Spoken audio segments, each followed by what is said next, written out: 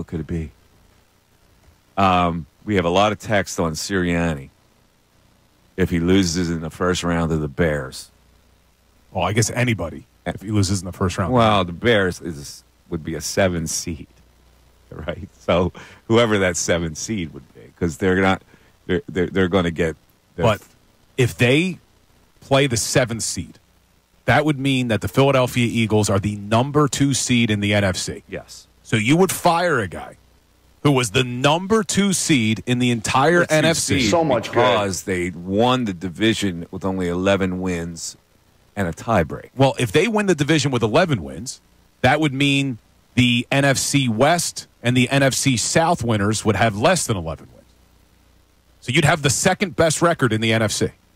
The And you would fire way- a guy. The way the model projects would be uh, seven Bears at two Eagles, three 49ers at six Cowboys, four Buccaneers at five Packers, according to the model. So the Philadelphia Eagles would finish higher after the regular season than the 49ers, the Packers, Cowboys. the Cowboys, Bucks. the Bucks, and the Bears. And you would still say, but if they lose one game in the playoffs, The fact that they finished higher than those teams and still lost at home to the Bears would make me fire him even more. I, I, I would be shocked if oh Jeffrey God, I can't that. believe that you would even.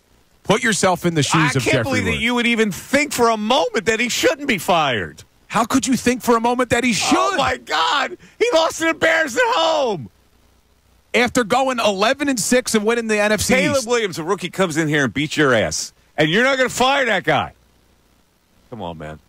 Come on, right? Let's let's get to the text board. What are they So, saying? and, and you're clearing house Oh too. my God! Stop it Fangio's with, gone. Stop it with your Sirianni Kellen Moore's thing. Stop gone. it! I can't take it anymore with your Sirianni thing. I can't take Right? the Sirianni hate. Right, right. Go ahead. All right, David, check it in. If the Eagles win the NFC East and lose to the Bears in first round, Sirianni should be the first coach getting axed. Yeah, it's ridiculous. Career record is 47 and 26. Who's gone to the playoffs four straight seasons? Who just won the division? You're going to fire a guy whose record is 47 and 26. It's absurd. It's ridiculous. Because It's we are so overreactionary as a fan base in the city of Philadelphia based off of seven games to end the season last year. It'll be the second time they lost in the first round eh, eh, consecutively.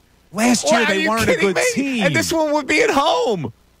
If they win the division and go to the playoffs, he cannot get fired. I'm sorry, he can't. Okay.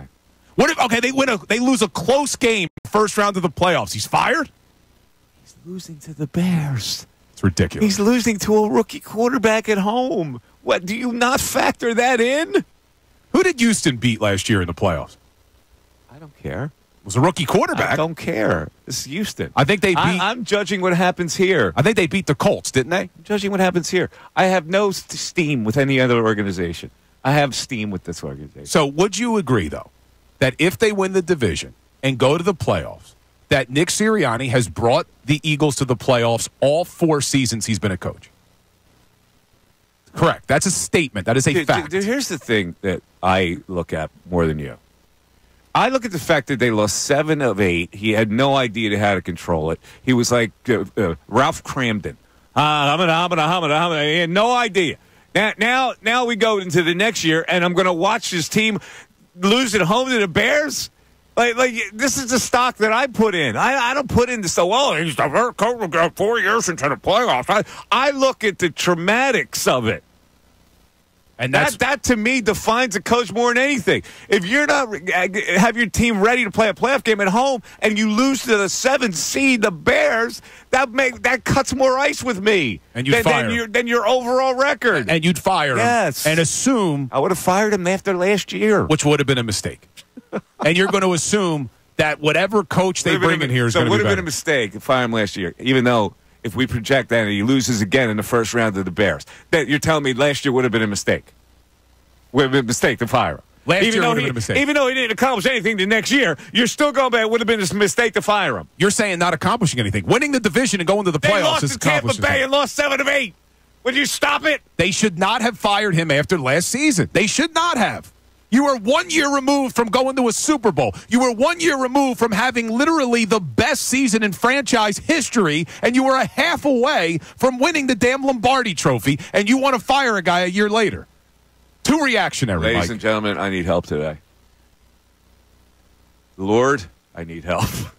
he does need help. Lord, please, please get me through this day with Bill Colarulo. He does need help. Uh, Listeners, please get me through this day with Bill. Please, 610 632 0975. I desperately need you today.